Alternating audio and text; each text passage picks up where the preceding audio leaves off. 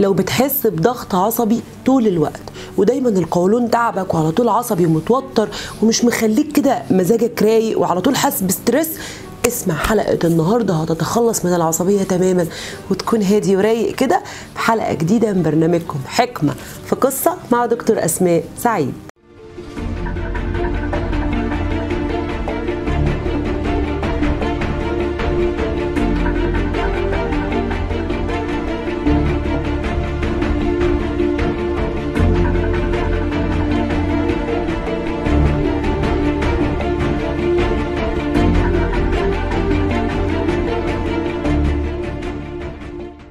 لي بنت المكتب بتقول لي يا دكتور أنا دايما حاسة بضغط عصبي شديد جدا خاصة لما بكون تحت ستريس في حاجة تحت مثلا آه، امتحان معين مثلا آه، زو- زواج هي كانت هي كانت كبيرة شوية.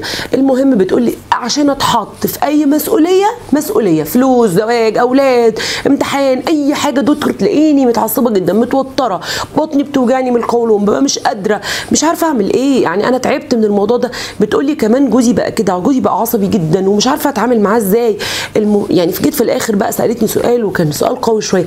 هو أنا هفضل كده لحد إمتى؟ العصبية يا دكتور بتاكل فيا. بحس إن أنا وصلت كمان إن أنا ابتدى يبقى عندي ضغط وأنا سني صغير والسكر بيقولوا لي وعالي أنا مش فاهمة في إيه ليه أنا عصبية؟ وإزاي أتعامل مع العصبية دي؟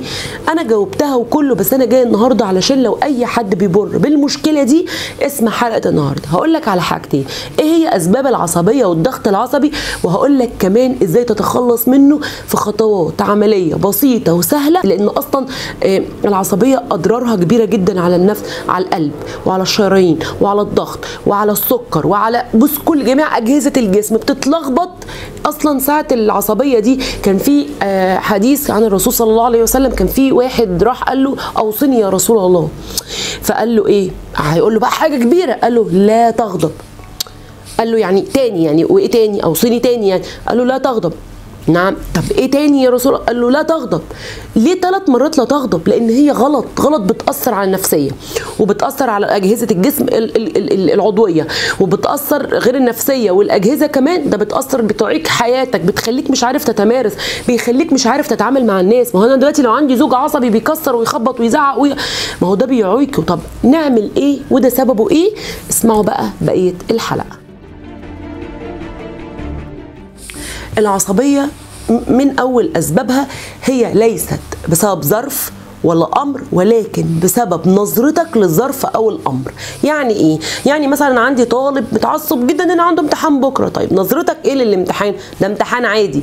طب ما هو كل اللي عندهم امتحانات بكرة بنفس الموقف؟ أكيد لأ. طب إشمعنى أنا؟ علشان أنا نظرتي للموضوع إن ده مسألة حياة أو موت إن ده مثلا اللي هيأثر على نفسيتي جدا إن أنا مثلا اللي مستقبلي وحي... فنظرتك للموقف هي اللي بتحدد. فأنا بقى نصيحة مني شوف أنت بتتعصب من إيه وغير نظرتك ليه. بمعنى إيه؟ أنت بتتعصب مثلا من زي ما قلت لك من الامتحان فاقعد كده مع نفسك وقول آه أنا ربنا آه خلقني في الدنيا علشان أسعى وأهتم بالسعي فأنا ههتم بالسعي عشان كده وهو ده اللي ربنا عايزه مني هتلاقي نفسك شت الموضوع قل شوية. طيب ممكن مثلا عن طريق آه مثلا ولادها. طيب أنت بتتعصبي مثلا من ولادك جدا أو عصبية بسبب ولادك طب ليه؟ عشان ما بيسمعوش الكلام. طب هو أصلا ربنا قال لنا كده في القرآن؟ ما هو طبيعي إن كل واحد ليه حرية. عملوا ما عملوش هم أحرار وكل واحد في الدنيا من حقه إنه يغلط أو ما يغلطش.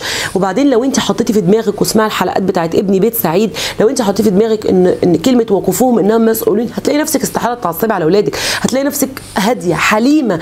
ليه؟ علشان إن ربنا حليم فأنا أستمد طاقة ال- ال- ال- الحلم دي منه. فزي ما قلت لك أهو غير نظرتك للأمر اللي أنت فيه وحط نهاية نظرتك للأمر ده تكون الله. هتلاقي نفسك الموضوع إيه قل شوية.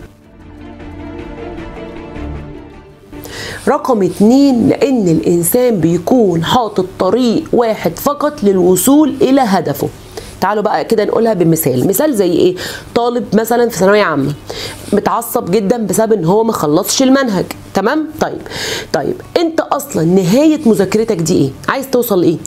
بص يا دكتور أنا عايز أخش كلية طب عشان أساعد الناس. طيب وهل أنت عشان تساعد الناس لازم تخش طب بس؟ لأ. يعني انت ممكن تخش إيه؟ لا ده أنا ممكن ادخل علم نفس بقى ده العلم النفسي بيساعد الناس كتير. وايه تاني؟ لا لا ده أنا ممكن برضه اخش صيدلة. ليه؟ ما هي صيدلة برضه بتنفع. يبقى انت حط اهداف كتير ليها علاقة عشان تفك العصبية. ما هو انت متعصب لانك حاطط طريق واحد. مثلا حد بيقول لي أنا أنا داخل مشروع وربنا يستر و... طب في إيه؟ طب إيه إيه, إيه هدفك منه؟ إن أنا أكسب فلوس. طب هو الطريق ده بس اللي يكسبك فلوس؟ قال لي لا. طب في طرق؟ طب إيه الطرق الثانية قال لي أقعد أفكر. قعد يفكر طلع حاجات من عن طريق النت ومش عارف إيه واشتغل.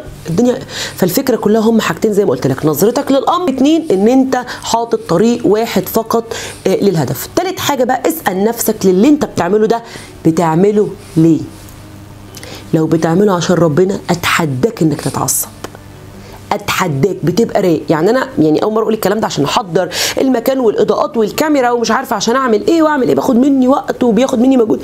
وأنا رايقة ومبسوطة وسعيدة وجاب مشاهدات ما جابش مش مشكلة. ان أنا عاملاها عشان لما أجي أقابل ربنا أقابله بالسي في كده قناة نفس مطمئنة لربنا. بص يا رب أنا عملت إيه؟ ونيتي فيها كذا. لو أنت نيتك من اللي أنت بتعمله مش ربنا والله العصبية هتتضاعف أضعاف مضاعفة.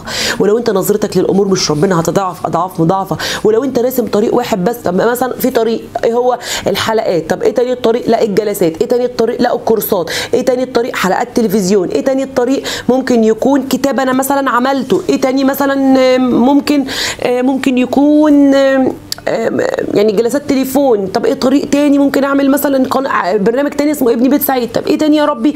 لا ده أنا ممكن أفتح مثلا أكاديمية. الموضوع كله إن أنت وسع الأبواب اللي أنت داخل فيها لربنا.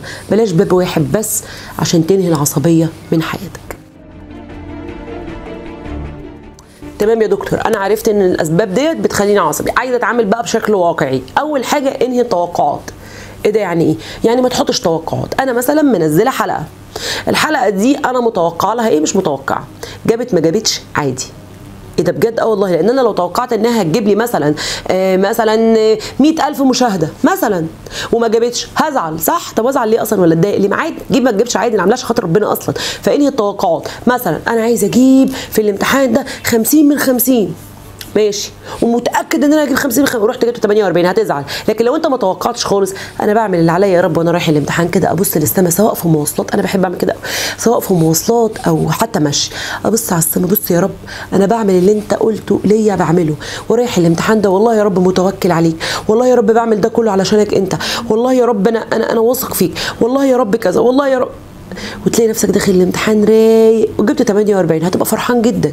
والخطوة اللي تليها الشكر الشكر الشكر الشكر. تقريبا بقى في كل حلقة بقول لكم على كتاب الشكر والشكر. صح ولا لأ؟ من كتر قيمته حتى لو مش عايز تاخد الكتاب حتى لو مش عارف تاخده. اعمل. كشكول ليك لوحده اكتب فيه اشكر فيه حتى الشكر العادي. اللهم لك الحمد ولك الشكر إن أنا النهارده يا رب رايق بنسبة 50% وأنا بحل الامتحان وإن أنا مثلا ماشي في طريق هدفي رايقة بنسبة 50% وإن أنا مع اولادي النهارده هادية وحليمة وكده. طيب أنا لو اشتغلت ربنا قالها لي لأن شكرتم لأزيدنكم. هتلاقي الموضوع زاد زاد زاد معاك وهتلاقي الموضوع اختفى بالنسبة لك تماما. وخطوة مهمة جدا جدا. العب رياضة. ده بينهي العصبية جدا وبيلغيها منك. كل أكل صحي وأظن اتكلمت عن الموضوع ده كتير وينهي السكر والدقيق الأبيض. آه دول أنا بقولهم بسرعة لأن أنا قلتهم قبل كده كتير. آه ممكن رقم ثلاثة اشرب مية كتير جدا لأن أصلا في في فيتامينات ومعادن وحاجات فيتامين ومعادن بتلاقيها قلت في جسمك بسبب إيه؟ بسبب إن أنت مش بتشرب مية كتير. آه ممكن النوم النوم النوم النوم النوم. السهر والصحيان متأخر بي بيدمروا الصحة ويدمروا الجهاز العصبي ويدمروا بصوا بيدمروا. فظبط النوم. آه التنفس حلو جدا جدا بينهي العصبية جدا. أقول لكم بقى على طريقة للتنفس حلوة قوي. بصوا بقى. التنفس أنا بكتم مناخير يعني بكتم جانب من مناخيري واخد نفس من هنا. واكتم واطلع من هنا. اعمل الموضوع ده عشر مرات. واتفرج ابقى قابلني في العصبية. ولو انت مثلا في وضع هتتعصب لو انت قاعد قوم ولو انت واقف اتحرك ولو انت بتتحرك اقعد. وتوضى مهمه جدا الكام خطوة دول. النفس الوضوء النفس والوضوء واتحرك كمان في خطوة برضو اجعل بيتك يغمره التوكل على الله. متوكله عليك يا رب. بنتي متعصبة منها يا رب وكلتك بنتي يا رب يا رب اهديها لي. المذاكرة يا رب وكلتك أمر المذاكرة. يا رب ده مش صعب عليك إن أنا أفهمه بسرعة يا رب. يا رب الامتحان ده والله العظيم أنا متوكل عليك. خليك متوكل على ربنا وهتلاقي نفسك العصبية بتبتدي تختفي تختفي تختفي. اسجد وطول في السجود. أنا اتكلمت ده في الحلقة بتاعت اللي فاتت برضو اسمعوها. الحلقات كلها أعتقد بتبقى مرتبطة ببعضها. اسمعوا حلقة برضو واسمعوا حلقة الصلاة. ليه العقد النفسية من ناحية الصلاة؟ هنزل لكم اللينك بتاعها تحت الفيديو ده. وبرضو من ال... يعني حاجات كده الغرب عملوها شبه الصلاة شوية اللي هي اليوجا. اليوجا برضو جميلة قوي ممكن تستخدموها لو أنتوا عشان برضو تهدي العصبية معاكم وعايزة أقول لكم بقى حاجة أخيرة. هما حاجتين. أول حاجة خالص بلاش تبقى دايما مضغوط من لا روق نفسك بقى. اقعد بقى في مكان هادي. هات لك كوباية انت بتحبها أحسن كوباية في النيش بتاعنا كده طلعيها وطلعي واشربي حاجة بتحبيها البسي حاجة بتحبيها انزلي هاتي لنفسك حاجة بتحبيها حطي perfume معين انت بتحبيه واقعدي روقي نفسك واتفرجي على حاجة بتحبيها يوميا اعملي كده نص ساعة يا كل أم بتسمعيني بلاش ال stress اللي انت فيه ده اعملي حاجة بتحبيها لنفسك انت عشان عشان تستحقي من ولادك وجوزك إن هم يحبوكي ويحترموكي واسمعي حلقات ابني بيت سعيد هتنفعك جامد قوي ملهاش علاقة بالحلقات دي بس اسمعي ابني بيت سعيد هتنفعك قوي وأخيرا إحنا مش من هنا. الدنيا دي عبارة عن رحلة. أنا جاي فيها بشنطة الشنطة دي فيها آه فيها اللي أنا بعمله واللي أنا بعمل يعني شوية أهداف بعملها وشوية حاجات وشوية وربنا مديني صلاة ومديني صوم ومديني حاجات عشان أقدر أقوم أعمل الحاجات اللي أنا بعملها. وفي الآخر هاخد شنطتي وهتكل على الله ده أنا ممكن أسيب الشنطة كمان. هسيب الشنطة ده أساسي. بس هاخد اللي أنا عملته. هو ده اللي أنا هروح بيه. فالدنيا فانية والدنيا مش مستاهلة إن أنا أزعق وأعيط وأنهار واتع الدنيا استمتع بكل لحظة أنت عايشها. استمتع بلحظة مع بيتك واولادك وحياتك. الدنيا مش مستاهلة الدنيا فانية.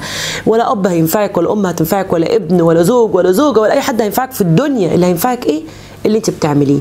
والعصبية وحشة. هتأثر على جهازك النفسي وجهازك العصبي وهتأثر وتعيق أهدافك وحياتك وفي الآخر مفيش حاجة هتنفعك في الدنيا. فخديها إن إحنا في رحلة و...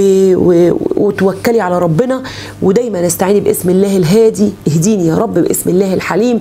يا رب اجعلني حليمة.